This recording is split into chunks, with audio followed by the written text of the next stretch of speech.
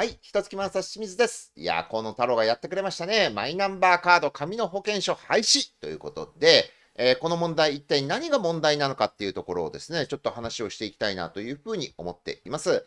えー紙の保険証がですね、廃止になるということでびっくりされた方もいるんじゃないだろうかと。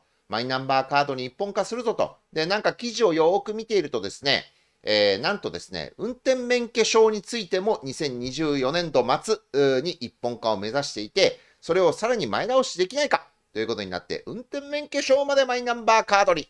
これはもはや大阪の戦いですよ。豊臣秀頼がですね、どんどんどんどん徳川家康にこう堀を埋められているような、そんな感じを受けるんですけども、えー本日はですね、この問題、ね、えーまさに、えー非道徳的ではあるが違法ではないというですね、日本に群がる利権のね、アリンコたちのもう非道ぶりがよくわかる、えーそんな話をしていきたいなと思います。安富さんよろしくお願いします。はい。ありえへんね。ありえへんな。こ れこれでもさすがにこれできないんじゃないかと思うんだけど。いやー、やっちゃうのか河野太郎はね、こういうところで発表するわけじゃないですか。な。うん。これが河野太郎の怖いところだよね。この人気はあるんだけど、さらっとこういうところで泥仕事をかぶってしまうというですね。う。ん。いや、とね、あの現実問題として、うん。健康保険証を持ってる人の数、うん。それを持ってる人のその比率、人口比っていうのはほぼ一緒じゃ、一緒っていうか、あの、大人のね、まあ、まあほぼ全員持っ1億、てるわけじゃない。一お成人が大体1億人でしょ？でもまあ、うん。中学校過ぎたあたりから持ってんじゃないの？もう、自分のやつうん、だは。から1億人以上持ってるよね。うんで、でさでこ80歳以上とかの人がめちゃくちゃ多いわけじゃないですか。うん。それを全部これに変えるってさ、どうするんだと？まあまあ、か保険証毎年切り替えてるから、うん。この切り替えの時にホイって渡すっていうことなんだろうけど、でもその、ホイって渡すってわけにいかないじゃない、マイナンバーカードの取得っていうのは。でしょ？でしょ？うん安富さん、はいやはり東大教授さんですね。違うんですよ。私のように心が汚れてる人間が解説してあげましょう、そこ。どうすんの？できないですよね。難しいですよね。できないと思うんだけどね。マイナンバーカードでそんな簡単にポイってもらえた？いや、めっちゃめんどくさかったよ。だよね。はい。私ちゃんと作りましたから。なんでかっていうと、運転免許証持ってないから身分証明として使うしかないんですよ。あで、ーパスポートが、なんか東京都新しくなって、住所書く欄がなくなっちゃったんだよね。あー、じゃあ使えなくなっちゃった。だから身分証として機能しなくなっちゃったんですよ。なるほど。こうやってだんだん外堀は実は埋められてるんですよ。うんでね、マイナンバーカードどうでしょうまずだからマイナンバーカード申請して、うん交付通知書が届いて交付場所に行かなきゃいけないでしょイエス、めんどくさいっすよ。これ大変なんじゃん。ね、じゃあちょっとですね、あのお見せしたいんですけど、これは2022年7月16日新聞赤旗、マイナポイント CM 第2弾も電通が受注、総務省と49.7億円で契約うん。っていうのがあります。で、その、はいえーさらに、えーこれは2年前、2020年6月15日、電通への採択、総務省も140億円、経産省と同じ構図っていうのがあります。で、ここでですね、あの、かんえっ、とね、これややこしいんだけども、環境競争イニシアチブっていうところがですね、受注してるんですよね。うん。じゃあですね、環境競争イニシアチブ、ね、ホームページがあります。えーで、これでですね、こうかちょっと拡大してみましょう。これが環境競争イニシアチブの法人概要。ほうほう、設立年月日は平成23年2月22日。代表理事は村上さん。えー関わっている企業のお名前をチェックしていきましょう。あ、電通がいるな。大日本印刷のいるじゃない。いるな。電気事業連合会なんて巨大なものも存在してますね。あらららららら、これ電気事業連合会ってあれだよ。あの、すべての電力会社が集まってるところですからね。うん。で、えー他にもですね、えー石油連盟入ってますね。お、電通国際情報サービスと電通ライブさんじゃないですか。持続化給付金とかで電通から下請けを受けて、くじ受け、十字受けまでを集中した会社。あ、突破電通が印3つも入刷ってるじゃないか。突破印刷にトランスコスモスさん、ああ、持続化給付金ではね、集中されましたね。うんうん。しかも、一般社団法人日本ガス協会だと、野村総合研究所だと、ああの全く動かない接触アプリ、ココアを開発されたパーソルプロセステクノロジーさんも、あ なんとなんと持続化給付金や10万円の特定あの給付金、こちらをですね、一括で受け負われたみずほ銀行さんも入られているじゃないですか。まあ、利権集合体ですよ。恐ろしいね。わかりやすい。もうちょっと隠し寄せ。ちょっと、ちょっとね、パンツ丸見えで歩いたらあかんから。あかんから。ちょっとせめて隠しなさい。ね。パンツならいいんだね、パンツ。いや、これ、もう、もはや、もろだし。もうパンツじゃないよね。もう、もう、プルンプルン、プランプランしてます。プランプランしてます。危険危険ですよダメですよ隠してくださいということで、これは環境競争イニシアチブとかいう名前でこんな本に集める。はい。で、こういうところにですね、す。安富さんが言われた通り、60歳、70歳、80歳以上の人たちにどうやってそんな手間かかりますよね。巨額の予算がつくんですよ、巨額どの予算が。にやんの？代わりにやんの？いやいや、それ俺より詐欺とかに使われるから危険危険。ちゃんと本人に来てもらうんですよ。できない分はずーっと、この事務を受け取ったところがですね、チューチューチューチューチューチューチューチューやる口実になるんですよ。いや、なるけどさ、廃止されたら保険効かへんやん。で、そしたらですね、全額負担になりますよね、病院が。で、そうすると慌ててね、あの、やってくるじゃないですか。うんだからいいんですよ。で、それで払えなくなったら、厚生労働省が喜ぶんですよ。わあ、医療費削減だマジかよ。だから権力者側から見たら、電通たちとチューチューチューチューできて嬉しい。プラス医療費削減にもなる。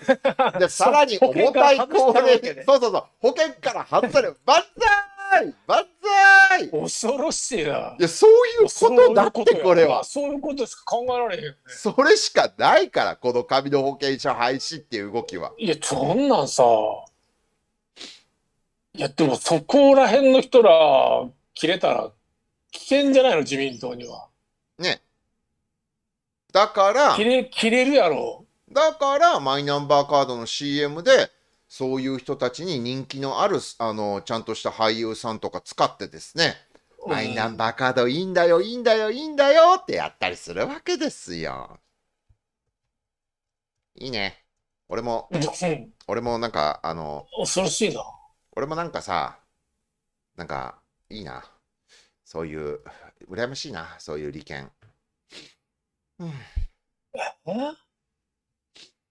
いいな。だってさ、マイナンバーカードのね、あの CM に出ているね、えーところにですね、えーそろそろみんなマイナンバーカードを作ろうねっていうサイトがあるんですよ。はいはい。そろそろあなたもマイナンバーカードっていうところの CM にですね、どなたが出てると思いますか？黒柳徹子さんとかいるんですよ。うわ。わ、黒柳徹子さんとかいるんですよ。魂打っとんな。で、黒柳徹子さんがですね、そろそろあなたもマイナンバーカードっていう風に言って、ちゃんとこの CM とかもあるんですから、もう持ってるマイナンバーカード、もちろん作りましたよ。あなたは、あなたデジタル苦手だもんね。こう、そういう一言作った方がいいんじゃない？だって便利なのよ。あら、ね、これわかる？とかって言ってですね、黒柳徹子さんが出てるんですよ。そうなんですか。どう思います？あ知らん、あと知らん人やな。大野翔平さん。大野翔平とかも俺わからへんけど。南南さん。うん佐々木蔵之介さん。まあ、これ年齢とかとあれで合わせて。そうそうそう。えーっと、で、それでですね、何よりも、一番下、この一覧のね、一番下を見てください。ドラえもん、うん、ドラえもんがいるじゃないですか。魂打ったな、お前。いやー、ドラえもんといえばですね、あの、ADK をがね、著作権持ってるわけですよ。このアニメ関係では広告代理で ADK。なるほ最近何で有名になりましたか？五輪王食で有名ど。だったゴリ押と思うんですね。うんでゴリ押食だよ。もうそう、五輪お食、五輪お食って感じですね。これがもうドラえもんがですね、ね、4次元ポケットからマイナンバーカードって出すんですよ。それでね、もう黒柳徹子さんとか、あとドラえもんとか、まあ他にもいろんなキャラクターとかを使ってですね、うん。もうこれで大儲けですよ。怖いなはい。これ、まあ、国民には何のメリットもないからね、これ。いや、まあ、丸裸にされるという以外のメリットはいなやい。、一応メリットはありますよ。何あんの？あのまずですね、コンビニとかで住民票の写しとかをゲットできます。転出届とかをですね、かなり、あの転出転入届とかもかなり便利になります。便便利ですよ、これは。いちいち行かなくていいから。コロナ対策にもなるしね。うあん、で、あと、えっと、丸裸にされるっていう話なんですけども、これで、うんマイナンバーカードを作ったらね、もう呪いのカードを持ってしまった、もう全ての私の情報が筒抜けにひえーって思うかもしれませんけど、そうじゃあ。ない。登録し使わない限りはね。あの自分で口座を紐付けたりすると登録になるんですよ。だからもう間もなくそろそろ義務制でしょ。だからあの全口座を皆さん銀行口座って1個しか持ってるわけじゃないですよね。新しくどっかでね楽天銀行とか GMO 青空ネット銀行とかなんか使わん適当なネット系の銀行を作って紐付けときゃいいんですよ今のところは。今のところはね。今のところは。でもそれどうせ口座の名寄せとかしようね。ただしですねそのうちですね新規口座開設にはマイナンバーカードの情報絶対いるよ、いるよ。だってですね、ああ、お堀が、外堀だけだって言ってたのに、内堀が、天守閣覚えたみたいな感じになる。有価証券の取り有価証券の取引とかいるでしょ。いるいるいるいる、なるよ。なるよ私だからなんか、名義変更しようとしたらさ、マイナンバーカード出せとか言われてさ、いや、持ってないからとか言って、うん。でないとできないんですよ。じゃあもうしないからとか言って、なんですよ。できないじゃん、それだとみたいな感じで。いや、だから、ああいうのも絶対もう必須、必須、に必須必須になる、必須になる。うん。だからもう確実に、だからその全ての口座、全ての金融取引、はい。全ての就職とかさ、うん、全部マイナンバーカードに入って、うん、で、そのあらゆる買い物とか、うん。全部入るよね。はい。それをまあ目指してるんでしょ。うんうん。でそのうちクレジットカード作るときも紐付けてって言われるようになるよ。あ当然そうなるよ。うんうん、だから学校に入学するとかも絶対いるしさ。ああ、怖いね。だから結婚とかしようと思っても絶対いるし、みたいな。うん引っ越ししようとしたら行ってみたいになるよ、これ。だうん、うん、うん。からそうすると、まあ中国なんかもそうなってるよね。ではですね、一月満冊清水優子と東京大学教授安富さんとですね、黒柳徹子さんはどっちの方が人気でしょうか？それはもう清水優子に決まってるじゃん。いやいやいや、なわけないでしょ、どう考えても。恐れ多いでございます。一。恐れ多いでございます。黒柳徹子さんの方が1億倍有名ですよ。で、その次。ドラえもん、ドラえもんと、私と安富さん、どっちの方が人気です世か界的に上や、ドラえもんなんか。ドラえもんの方が絶対勝つでしょ。もう10億人ぐらい知ってるよ、ドラえもん。で、ドラえもんでは勝てへんかったら、クレヨンしんちゃんも投入ですよ。ついでにサザエさんだよ、次は。もみんな国家の手先や。う。あーあ、そんなもんっすね。うん。思っていくんです。恐ろしいですね。ただ、一個ね、利点があるとしたら、マイナンバーカードを作って銀行口座を紐付けておくと、さっき言ったような持続化給付金の振り込みとか、ね、うんえー給付金の振り込みの時に中抜きができなくなります。ダイレクトにね。あの、ダイレクトに振り込まれて、ポチッと。大丈夫、大丈夫、大丈夫、大丈夫。抜くって。ね。いや、そうそうそうそう。で、それが原則的にはそうなんですよ。うん。原則的にはそうなんですけども、安富さんがおっしゃる通り、必ず何かしらの理由をつけて結局チューチューするん。じゃあ何のために作んねんっていう話ですよ、これはもう。いやー、怖いなうん。で、これさ、なくした人大変でしょ？大変やで。だって、あ開けられる、開けられる可能性があるんでしょ？なんか。いやもうそれは我が国が誇るあの最新の情報技術と科学立国ジャパンですから大丈夫ですよ。どうやってやんの？えー、とりあえずあのその細かい話はさておきですね。ちょっとあのこの段階でもうなんか悪意感じませんかねこのスネ夫やでスネ夫がさらに将来的には運転免許証を一体持ってかって言ってスネ夫とスネ夫のお父さんがですねイエーイっていうふうにこうやってるこの CM の世界観。すねよ。すねよすねよいや、せめて静香ちゃんとかに。まあ、その免許持ってそうなのが、この時代はね。うん車持ってる人少なかったから。いや、まあそうだ、爪男のお父さんぐらいしか持ってなかったから。そうなんやけどさ。これあんまイメージ良くないだろ、すねおちゃん。面白すぎる。いやー、というわけで、マイナンバーカードですね。うん。進んでいくんだけど、うんいや、河野太郎がですよ、例えばね、あの持続化給付金見てくださいと。ね、あの電通とかがすごく中抜きをしてね、会計検査院の発表によると、もう最大90受けまで存在したんだと。元請けまで入れたら10個あったんだと。で、この中に電通ワークスと電通が入って、電通ライブが入って、パソナが入って、大日本印刷があって、トランスコスモスがあって、うんぬんかんぬんでもう中抜きして皆さんの税金がね、もう無駄に使われていたんです。今後このような無駄をなくすために、電通に発注しないためにも、どうか国民の皆さん、マイナンバーカードお願いしますとかとも言ってないんだよな。言ってないんだよな。すごいね。4種類はパスワードあんの。え？4, 種類はパスワードあんの。何が？4種類、パスワードが4種類あるらしいよ。マイナンバーカナンバーカえっ、と、それデジード。タル。使い道の大きで違うんだ。あのーそれの方が逆に脆弱性増すと思うけどね。うん。で、しかもね、3回間違えたらね、うん。使用停止なんだよ。でもそれはそんなもんですよ。いや、だけどさ、保険証の時に入れ間違えたら、運転免許も止まったりしたら嫌じゃないですか。いやいやそそれはあのこう毎回毎回出すたびにパスワードがいるんじゃないから。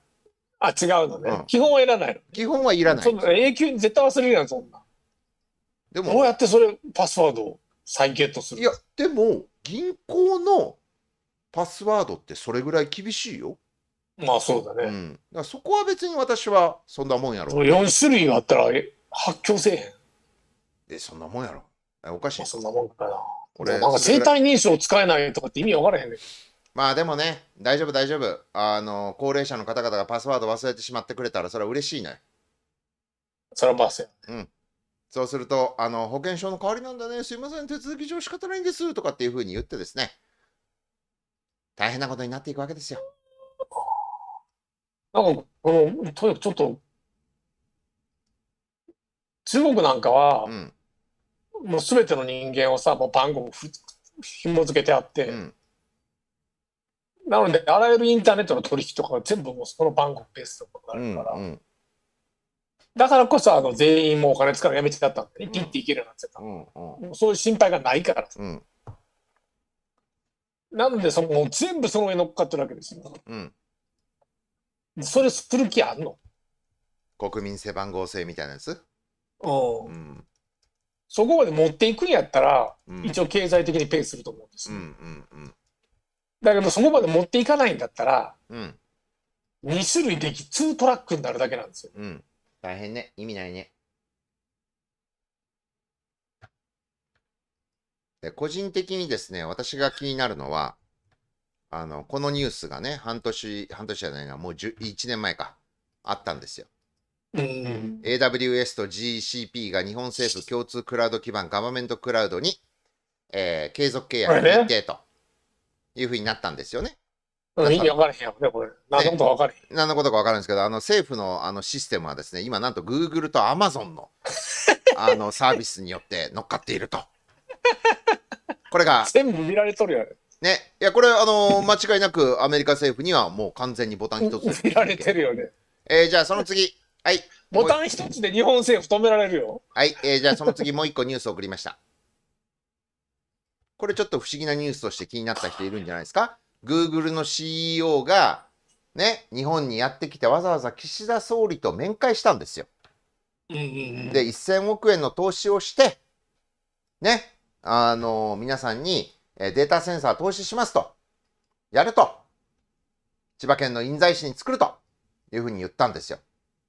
でもさ、こんなのわざわざ総理に話すことか？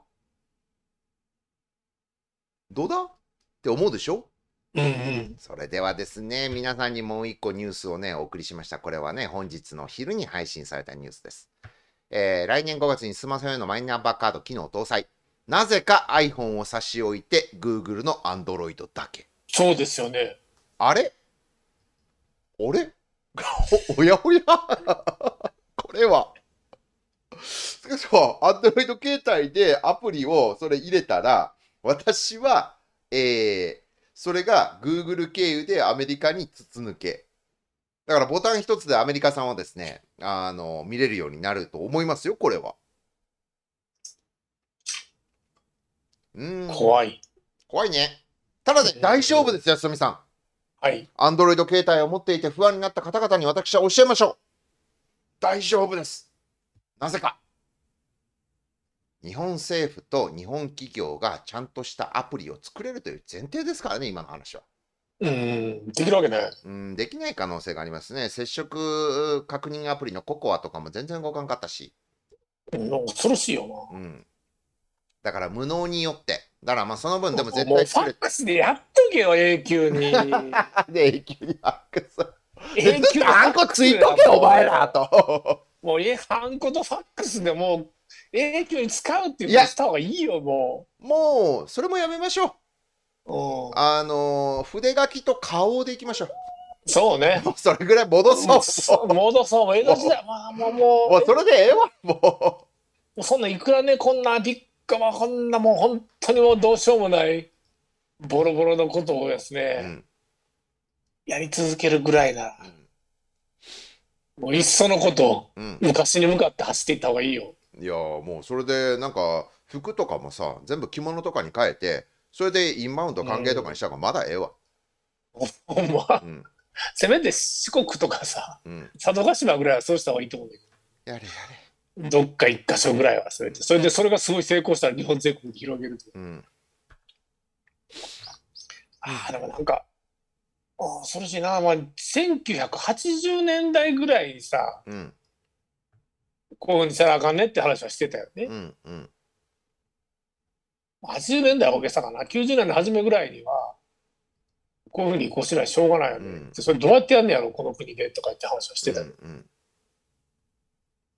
こまでほっといて今更なんかやるんかみたいな。ビビるよ。南無阿弥陀仏南無阿弥陀仏。中国行ったらね、あれ。飯食ったらさ、うん。あのウェイトレスさんがやってきて、うん。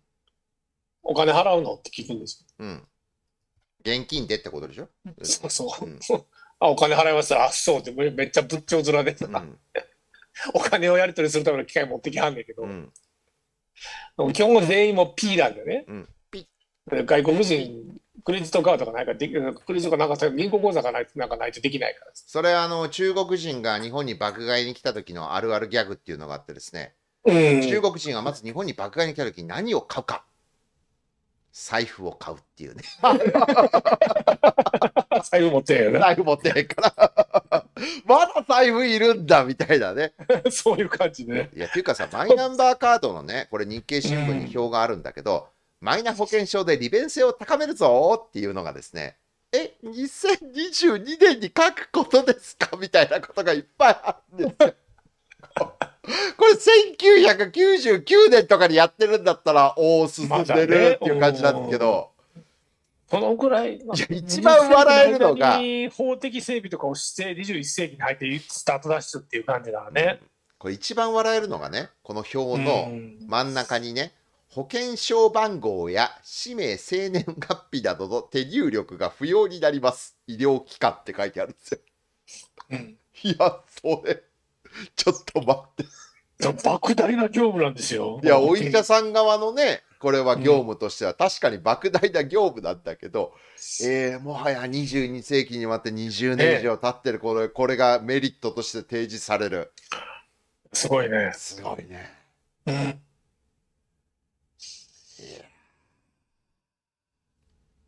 患者が医療保険資格を失っていないかを予約段階で確認可能そんなの 0. 何パーセントくらいしかおらんいや、やろほぼほぼ関係ないな。えー次、えー患者側のメリット。専用サイトで診,、えー診療履歴や薬の使用履歴を簡単に確認できます。え、それやばいやろ。誰かに見られるってことよ、それ。えーこれお薬手帳とかっていうものが、まあ、うんオンラインで、うん。えーうんうん。載ると。つまり私が飲んだうつ病の薬、えーあと、あバー。のあと、えー精神、抗精神薬、えーさらに、えー睡眠薬とかがですね、えーバレちゃうわけですね。で、それがですねよねあの、私なんかは別にカミングアウトしてるからいいんですけども、あの、情報漏洩したら、どう責任取るの？あ、この人、この薬飲んでんだって。分かっちゃうよ。次。しかも情報漏洩するよね。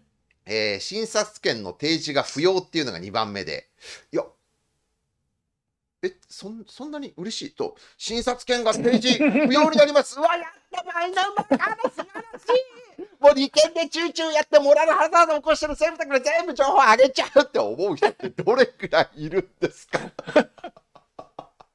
ああ。いないでしょう。うんで、転職や引っ越し後も継続使用が可能って書いてますけど、これだから、えっと、保険組合が変わったりすると、うん。そのたんびに変わるよね。保険証とか。まあそうなんやけどね。だからしょっちゅう転職する人は便利なんじゃないですか。うーん。もう2年に1回ぐらい大学変わるでみたいなやつ。うーん、そんな人少ねえだろ。はあ、怖い怖い。同意すれば医療機関で情報が共有され、より適切な医療が受診可能に。なんかバレたら大変やんね。うーん。全部見られる。それ医一療生医療機関があの情報を漏らしたら、漏らさないっていう前提。漏らしたら、あらゆる病歴とか全部うん。インターネット上に公開されたりする。うん。でもなんかそもそもさ、なんかマイナンバーカードって、めちゃくちゃ取り扱いが、まマイナンバーでめちゃくちゃ取り扱いが厄介じゃなかったっけ？取り扱いが厄介ってどういうことですか？だ誰にも知られてはいけないから、秘密にしてくださいみたいな感じです。マイナンバーカードね。マイナンバーをね、マイナンバマイーをナンバー。職場に届けるっていう時はその厳格に管理されてるでしょ。そうそうそう、だからあの身分証明としてマイナンバーカード出してくださいとか、マイナンバーカードを出してくださいとかって言われるときも、裏面に載っているとか、あ裏面だったから表に出てる、あそこはマスキングしてくださいって言われるんですよ。うんその番号は隠してくださいって言われるんですよ。でもさ、そんなの、あの、今、65歳以上の方が4000万人近くいる日本で守れる人はどれぐらいいるんだろうか。ね。で、落としたりしたらマイナンバー見られんの？え、見られるよ、普通に。ちょっと私の持ってるマイナンバーカード持ってきましょうか。ちょっと一はいはい緒です。えー私のマイナンバーカードよりもですね、この見本を見た方が早いと思うんですけども、これ上にあるのが表面ね。えー番号花子さんです。うん。で、えーその下にですね、あのー裏面があってですね、個人番号っていうのが書いてるじゃないですか。これがやばい番号なんですね。これがね、えっ、と、私の番号はってここで読み上げると大変なことになる番号です。そんなもんがこんなんで、裏にピッて出てるのね。ピッて出てましかしかも性別があるとかってもう最低ですよ。うーん、まあ先進国ではないですね。いやまありえへん、ありえへん。あ先進国じゃないんで、うん。もうもうこれ私なんか使用不能ですよ、こんなもん。こんなクソなもで、こういうふうにですね、載ってるわけですよ。で、の。ここ、何してた運転免許なくなったらどうすんのよ。でね、運転、お表面のところに、あのーえーっと、水色の見本って書いてるとこあるでしょ？うん。あそこに転入とか転出とかすると、住所が追加で書かれていくんですよ。ああ。これが、マイナンバーカーこんなふざけたカードは使えません。っていうか、今週運転免許運転できへんなね。廃止されたら。2024年以降は、安目さん、運転手を雇ってください。運転できなくなる。はい。免許返上しようかな。保険も解約したろうかな。も保険人間になろうか安富さん、な。はい。保険は解約できないの。いいよ、もう。金払わないで。取り立てが来るの。来るの？来るよ。当たり前でしょ。差し押さえされるんですよ。その差し押さえされるまで粘る。うん、まあ、それは好きにしてくれとしか言いようがないが、ももう無駄な行動です、それは。ピ ピーポーピーポー君たちは包囲されている無駄な抵抗はやめてマイナンバーカードを作りなさいっていうふうに今言われてるんですよ。いや、ありえへんやん、そんな。恐ろしいよね。はい。これ、選挙がないから、うん。もう確定？確定ですね。まあ、解散総選挙はいきなりあって、政権交代したらなんとかなる。あ、なるなるなる。なる。もうそれしかないよな。でも、そんなふうに思ってる人少ないやろな。うん、少ない。だって、黒柳徹子さんとドラえもんに説得されるんですよ、これ。だって、ドラえもんとかがさ、あの、マイナンバーカードで便利な暮らしとかって言っているんですよ。怪しいやろ、もう。で、黒柳徹子さんとかが、あの、マイナンバーカードで大事だよね、作ったとかっていう風にテレビ CM が流れてる中で、マイナーカードけしからん大変だ政権交代を起こして、なんとかしなければならないとかって言ったら、お変な人いるな、まあでもね、非選挙権っていうのがあるから自由だから、まあね、うわーって思う人も少数で、キモって思われたらおしまいですよ。うえあかんね。ちょっともう、ちょっとマジで、マジでここで暮らしていけなくなる。どこ行きますか？どうしよう。どこ行こやっぱ南半球だと思うよやっ。ぱ完全オフラインで生きていくしかないんじゃないかうーんな。お医者にもかからん、みたいな。じゃあとりあえず一月万冊はマイナンバーカードができた暁には路上で紙芝居でやるしかないですね。これはも どうしよう。えー、でも一応マイナンバーカードなくても YouTube 配信はできるじゃない？う。いやまあそれもうそれもはできるけどできなくなんねやろな。いやあのお金がもらえなくなりますよ今度。そっか。振り込まれなくなるんだ。振り込まれなくなるから。けどえー、無料で配信するのはいいですよ、みたいな。うん。恐ろしいね。うん、そういう状況です。へえ。うひー。もうちょっと、あかんわ。許されん。うん。河野太郎許すまじ。っていうふうに思える人も少ないと思うんだよな。ちなみに、えーっと、マイナンバーカードのようなデジタル化は、北欧の諸国では進んでますからね。うこれはん。ただし、皆さんが今回気持ち悪いなって思っているのは、今日言ったね、あの、利権の話とかさ、そういう細かい話とかじゃなくって、あんなモラルハザードを起こしている政府に情報を預けて大丈夫なんかっていや、もうありえへんって、もう、こんだけ情報漏れまくってんのにさ、うんそこにこんな危険なものをこの集約するとかってさ、うん。あかんって。あかんよ。あでとにかく使えもしない、きちんと活用するような力も能力も意欲もないやつうに、ん。情報だけ持っていかれて、その上中書きされまくるっていう、うん。最悪の事態ですよ。うん。そんなんいっぱいあるよ。もう本当、脅迫やん、こんなん。そんなんいっぱいあるよ。えー例えばですね、うんあのー情報漏洩とかね、不正アクセスっていうのは大量に発生してますからね。いや、もう、ななもん。だ韓国で、なんかマイナンバーみたいなものをさ、むっちゃ前に導入したんですね、1970年かなんか忘れたけど。うん。人口数の何倍かの漏洩事件が起きてるらしいですね。うん、いや、それそれぐらいは。うん。うん、その何十年かの間に。うんでそのぐらい漏れるもんなんですよね。うんでしかもそれはインターネットとかがあんまり発達してない段階の話なんで、うん今なんかさ、もう死に物狂いでそれ取りに来るやついっぱいおるやろ？いやーじゃあですね、ちょっと労働問題 .com というサイトがあってですね、ここになんかええ労働をね、えーこれはね、報道機関が公表する懲戒処分のうち、えー情報漏洩、データ持ち出し、改ざん、懲戒事例について情報を整理しましたっていうのがあります。ね。はい。で、これは、あのー公的機関や民間企業における具体的な事例に過ぎなくって、まあ、この法律系のね、あの事例として上がってるんですけど、見てくださいよ、この大量に並んでないうん。大量に。しかもこれなんか報道されてしたやつだけでしょ？はい。いやー、報道さ2018年、れてないやつはどのくらいあるんですか？2018年8月9日、接待で情報漏洩、警官2人、免職、過重収賄罪で起訴。これなかなかやばいな。すごいな。いや、大阪って感じやな。飲食接待を受けたから捜査情報を漏らしましたって。捜査情報を漏らすような警察がさ、個人情報とか、だからそのうち犯罪履歴とかも載るよ。おーこれ。で、他にもですね、えっ、と、2018年12月13日、個人情報5記載、男性職員2人を戒告懲戒処分、山形市とかね、こういうのがいっぱいあるわけよ、すでに。すでに。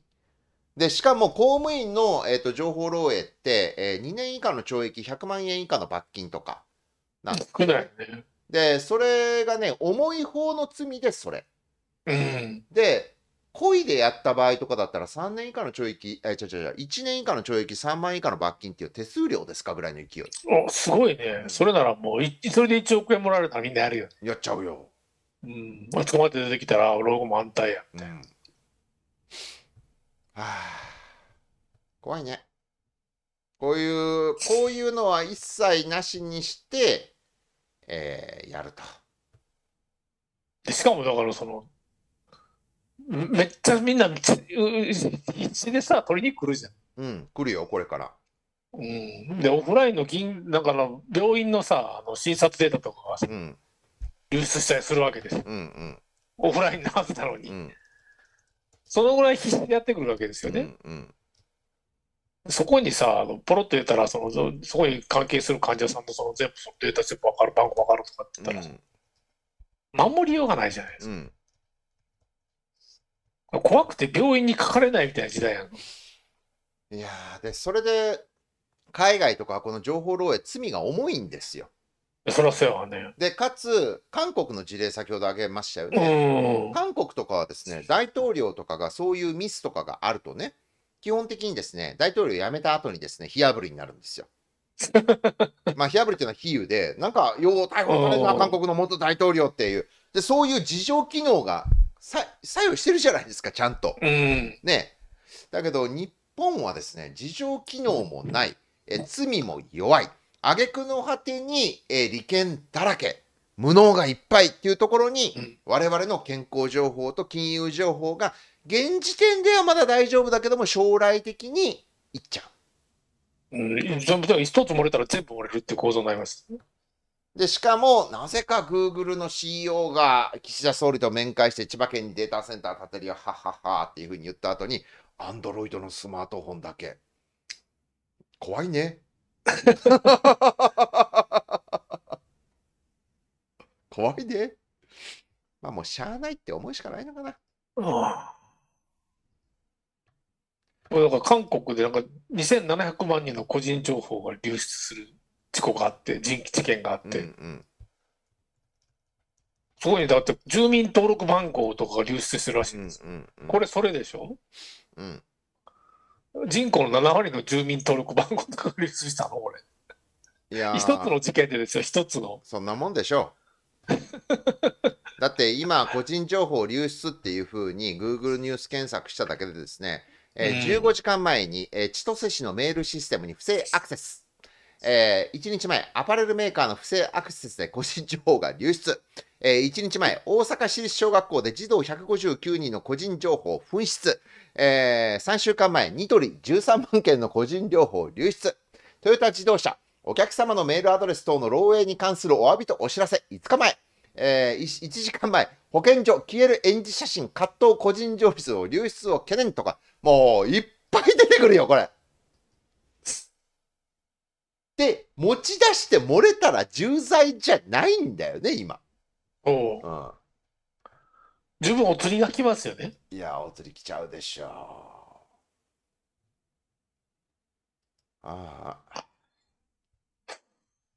で大抵こういうのってね、あの、ピーっていうやつを使ってアクセスできるダークウェブとかでですね、あの、売買されてるんですよ。はいはいはいははい。だってパチンコホールいいね。展開してるね、あの大手のパチンコホールがあってですね、サイバー攻撃受けたんですよね。うんでサイバー攻撃を受けてですね、あのグループ会社が保有する地権者、店舗の地権者の口座情報とか、えーそれの権利のあの情報とかが漏れて、ね、で、そういうものがダークウェブで販売されてるとかっていうのもあるんですよ、実際。うんうん。怖くないですか？やだな。やっぱオフラインやな。うん、やっぱ一月のやつも、あの、お申し込み一が杯で。おはがきで受け付ける。安富さんの本を買ってほしい人は、こちらのおはがきをお送りくださいみたいな。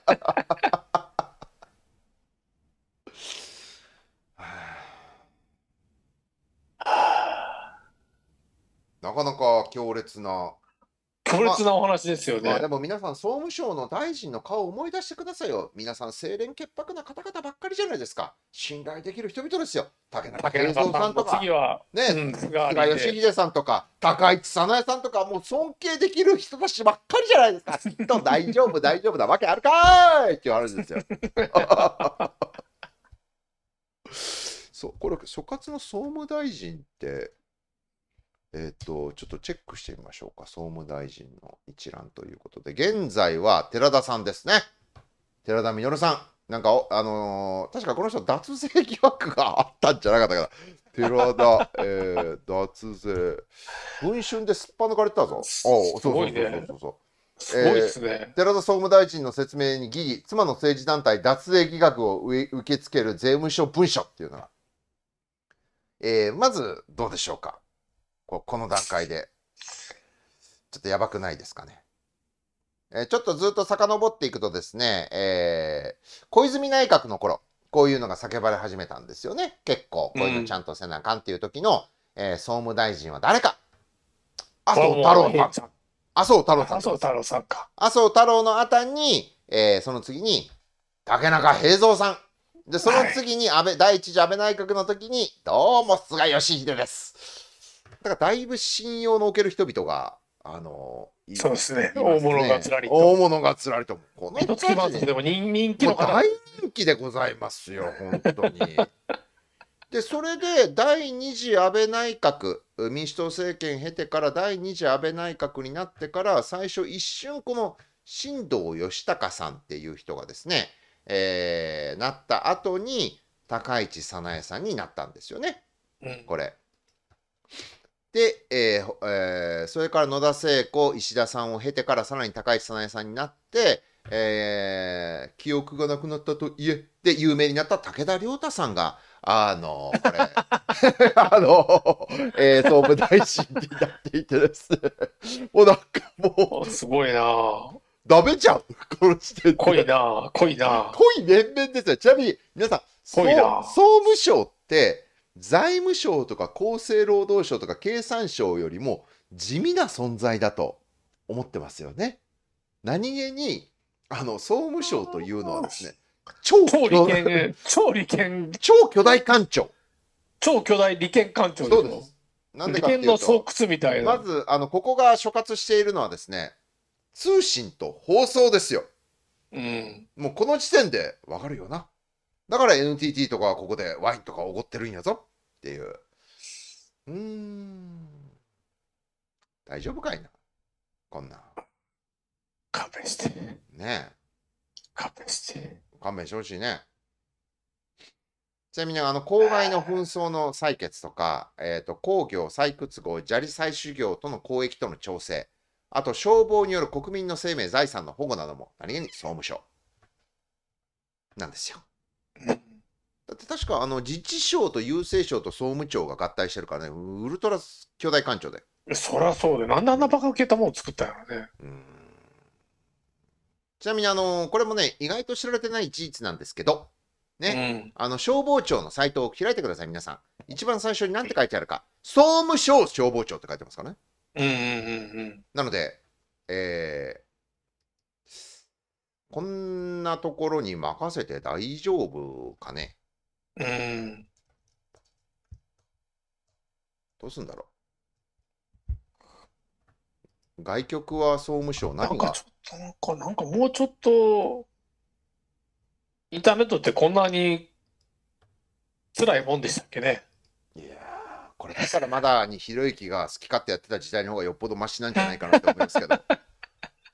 インターネットってなんかもうちょっと希望のあるものだ気がしたんですけど。えー、総務省の外局はですね、消防庁、公害調整委員会、えー自治大学校、情報通信研究所、統計研究研修、あそうだ、総務省って統計局が入ってるな。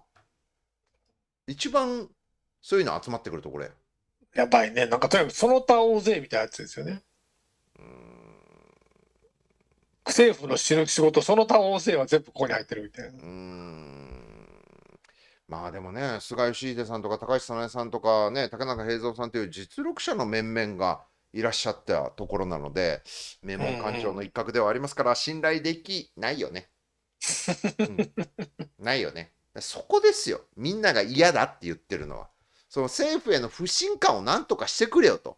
不信感っていうのは、その、あの、統一教会問題に関して何にもやらないとかさ、そういうのを何にも解決しないまま、紙の保険証支出がマイナンバーカードを作ってるって。ていうか、あの、今政府が言ったらさ、何を言っても気持ち悪いって思う人いるって。いや、そ、そらそうですよ。全部情報が統一教会に流れる気がする。そう。そういうふうに思っちゃそういう気がすう。る。で、見てるやろ、あいつが、とか。うん、でそういうのをちゃんと襟正した後にやるんだったらいいけど、なんかいろいろもう気持ち悪い。いや例えば安富さんやったらねこの性別を書く欄が存在しないとかさ、いや、ありえんな、あんなもん。そんなもんあるんやったらもうちょっと永久に使えませんから。そういうふうにちゃんとねあのああちゃんと先進的な部分配慮してるんだなとかっていうことがさ分かるんだったらいいんだけど。うん。うんなんかな。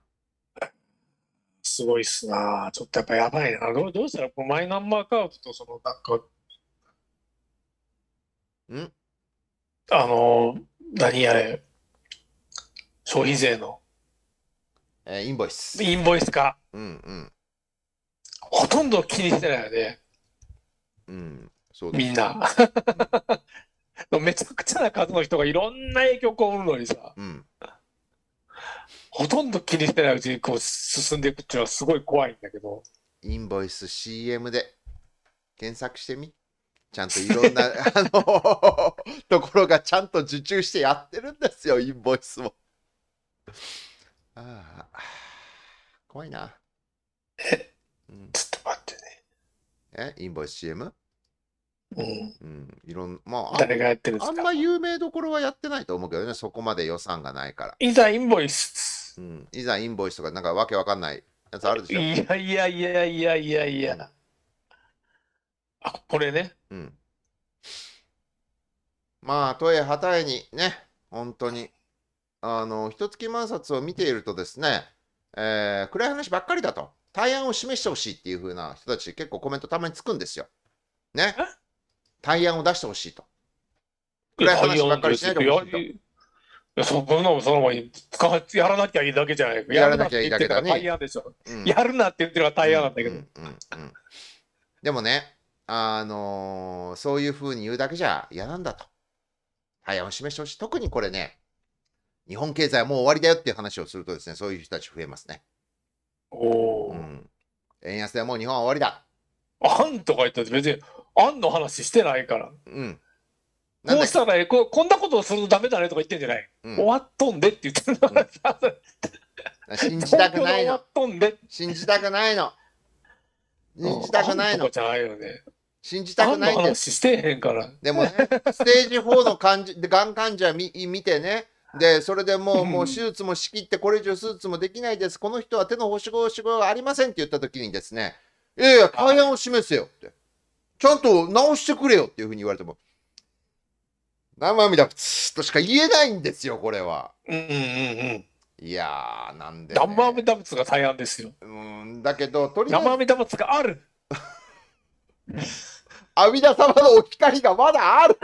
あった、あるよ、あるよ。言ってるよ。阿弥陀様のお光があるんだって。ただまあ、一応 そういう、ことを信じないから、こういうことになってるんだ。あのーこのマイナンバーカード、まだね、まだなんとかひっくり返せるかもしれない。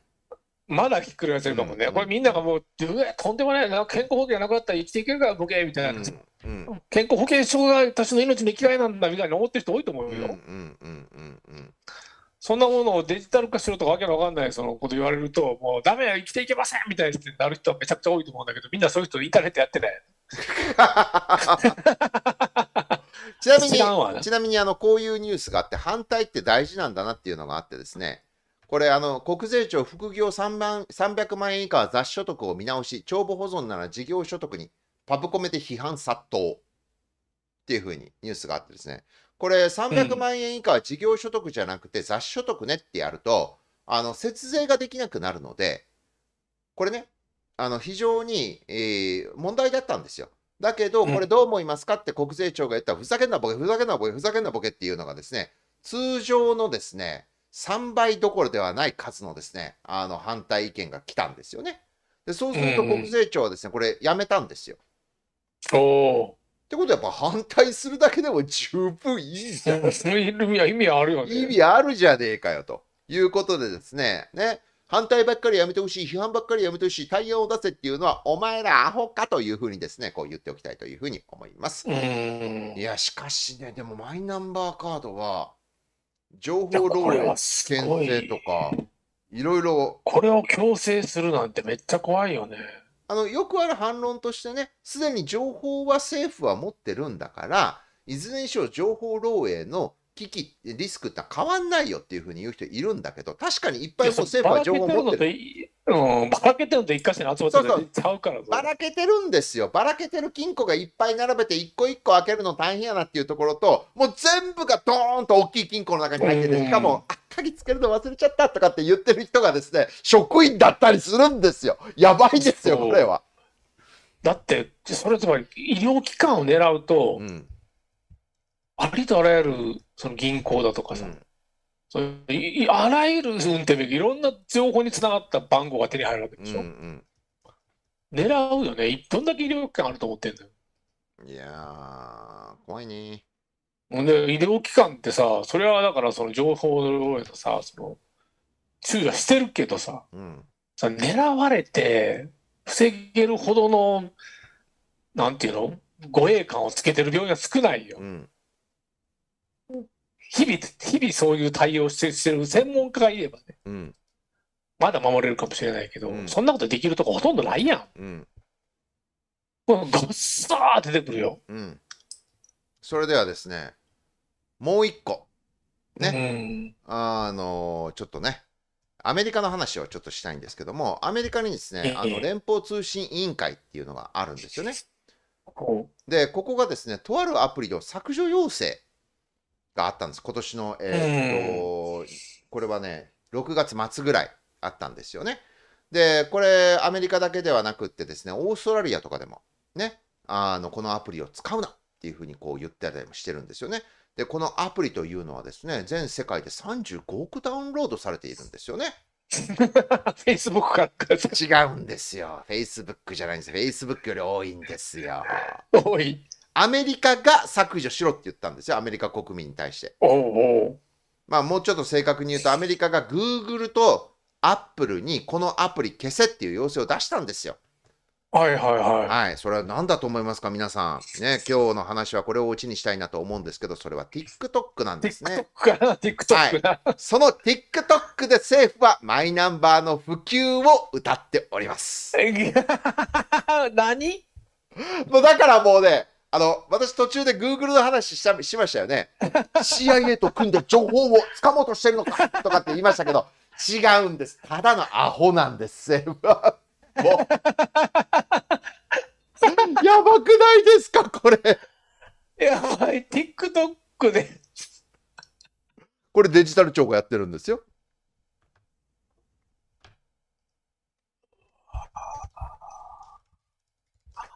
っていうことなんですよ。ただのアホなんてね。はい。というわけで、えーね、今日のオチは、バカな対象敵より怖い。ということで、えー、安富さんと話をさせていただきました。そんなわけで、うん今日も読書、チャンネル登録といいね、よろしく。それでは。